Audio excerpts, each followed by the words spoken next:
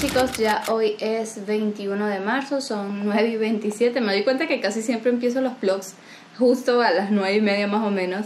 Me despierto antes, pero es como que mientras me paro y la flojera y tal. Este. mm, Anoche hice algunos remedios caseros que me dio mi mamá. Y según producción pude dormir un poco mejor, pero dormimos sin aire, eh, sin ventiladores ni nada, porque eso sentía que me estaba como que afectando.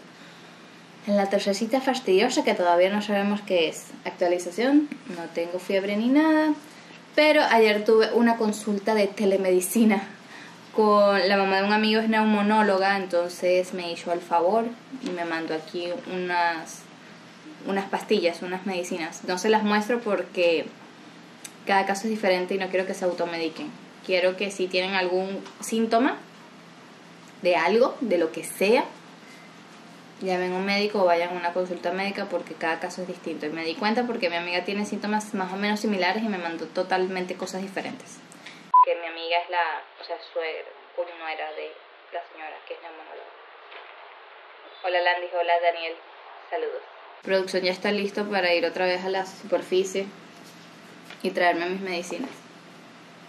Y por cierto, no me parece justo que digan que el virus afecta a la gente mayor y yo vaya a morir primero que producción. ¿Estamos claros? No me parece porque no le pasa nada. No tiene nada, ni coquito le da. Ni se desvive, nada. No me parece justo. Se queda callada, le dijo madre. Llegó la hora de la verdad. Tengo que tomarme la primera pastilla que es efervescente.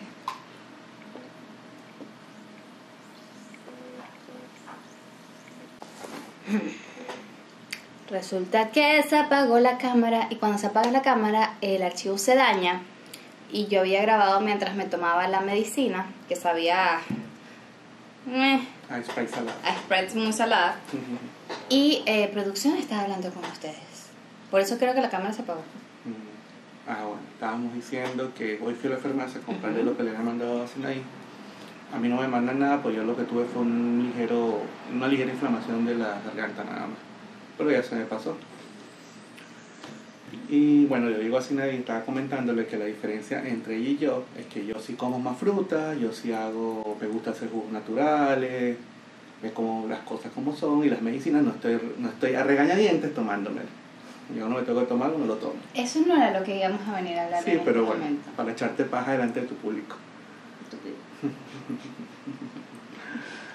Y bueno, lo otro que iba a decir es que eh, salí y me di cuenta que hay todavía muchas personas mayores en la calle y son las más susceptibles, según información Hasta el eh, momento. hasta el momento de los entes competentes.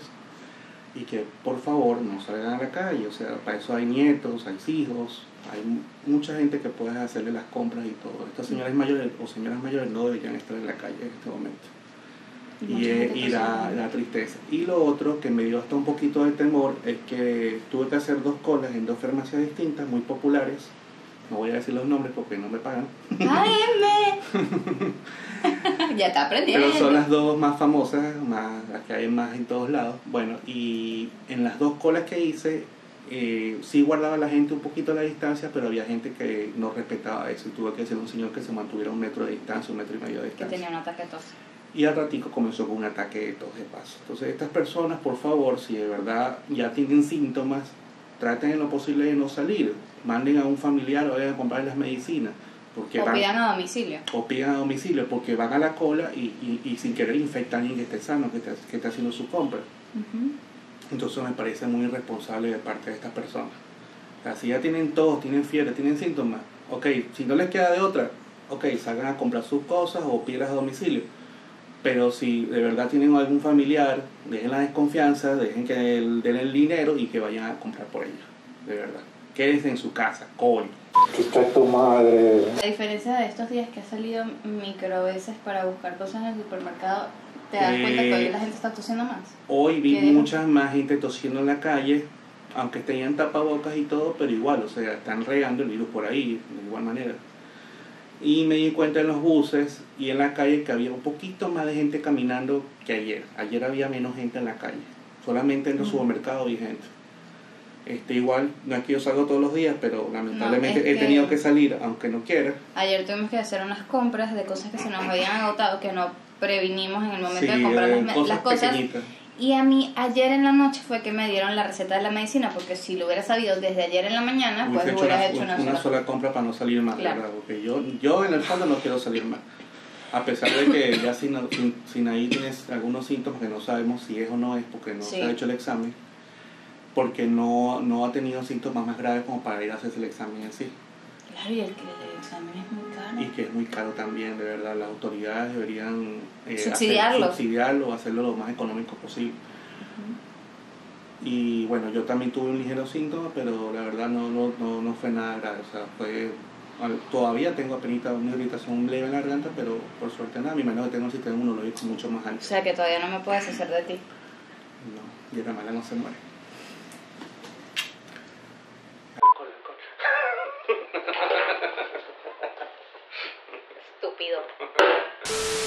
Bueno, hoy nos toca lavar la ropa en esta maravillosa bebé que es mi lavadora. Es mi parte favorita de la casa. Hola. LG, patrocíname que me falta un televisor y una nevera nueva. Pero el televisor primero. Tengo aquí mi mesita de noche que ya se rompió, me acabo de dar cuenta ahorita. Producción no lava porque a él le gusta mezclar la ropa. La ropa blanca y la otra ropa de color o negra. Él mete toda esa vaina así y a mí no me gusta.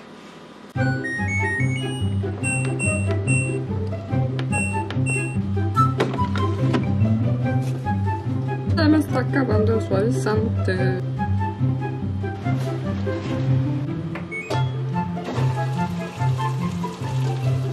Una hora después.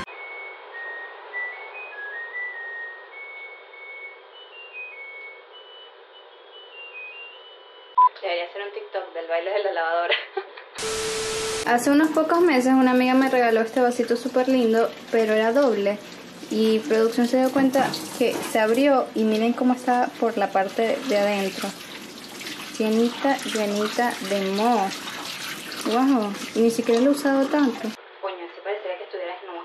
Pero les prometo que no. Con agua caliente porque no me quiero bañar con agua fría. Cociné y producción va a comer mi deliciosa comida sin chistar.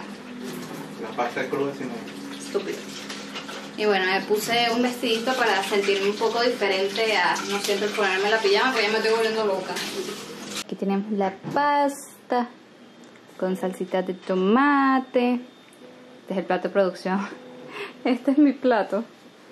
Decidimos comer aquí en una mesita de madera en la fría de la cama para sentirnos que estamos comiendo en otro lugar diferente y acá se siente un poquito más fresco porque tenemos el ventilador de techo y no queremos prender el aire porque no quiero que me afecte la tos. De hecho, he estado tomando agua temperatura ambiente que para mí es caliente con el calor que hace Guayaquil y extraño el agua con full hielo. Esperemos que producción se lo coma todo. Y si quieren que les haga una receta de cómo hago esta pasta, me avisan.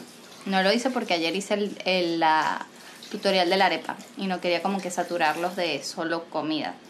Y tampoco es que yo sepa cocinar muchas más cosas de las que estoy haciendo. Estas son las visitas.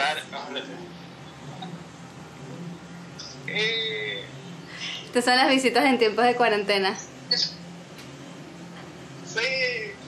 Y bueno chicos, ya son casi las 10 de la noche. Yo despido este vlog hasta aquí. Hoy no grabé mucho creo.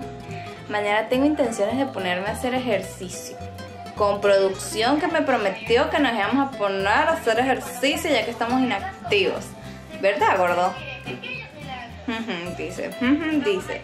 Y bueno chicos, si te gustó este video dale like, suscríbete a mi canal si no lo has hecho súper fácil dando un botonzote que dice suscribirse. Yo estoy subiendo videos todos los días a las 12 del mediodía hora Ecuador de este blog de la cuarentena y si te gustaría salir al final de mis videos solo tienes que enviarme un mensaje a mi Instagram como mensaje privado para yo ponerlo ahí a ver qué estás haciendo en cuarentena para pasar el aburrimiento y cómo estás eh, la situación en general en el país de donde tú estés.